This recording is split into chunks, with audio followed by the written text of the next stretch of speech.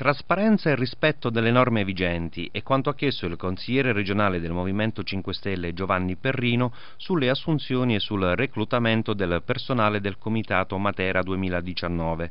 L'esponente pentastellato, in un'interrogazione al Presidente della Regione Marcello Pittella, ha chiesto di conoscere se per ciascuna unità di personale impiegato dal Comitato Matera 2019 siano state rispettate le vigenti regole previste per la pubblica amministrazione per le assunzioni e il reclutamento del personale, per il conferimento degli incarichi, nonché i vincoli pubblicistici relativi ai limiti di spesa.